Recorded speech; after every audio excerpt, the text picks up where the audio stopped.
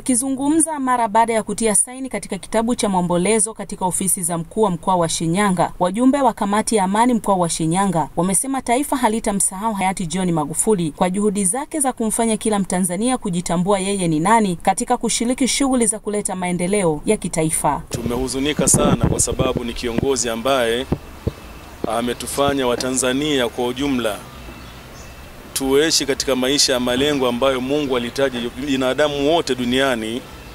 Hakutuleta tuishi hapa duniani kwa kukaa tu bure bure.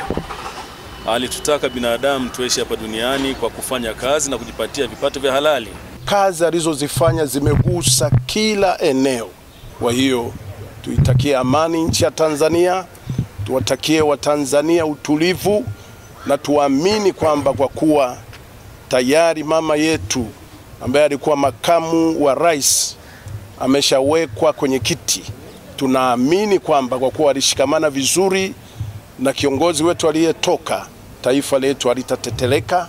Kwa upande wake katibu tawala mkoa wa Shinyanga Albert Msovela ametoa pole kwa Watanzania huku akiwaomba wananchi wa mkoa wa Shinyanga kujitokeza kushiriki zoezi la kutia saini kitabu cha maombolezo ya hayati John Magufuli katika ofisi za mkuu wa mkoa huo. Tumeandaa eneo mahususi kwa ajili ya wananchi wa mkoa wa Shinyanga ambao wataweza kusaini katika kitabu chetu cha maombolezo ambacho eh, kitabu chetu ambacho kimeandaliwa katika ofisi hii.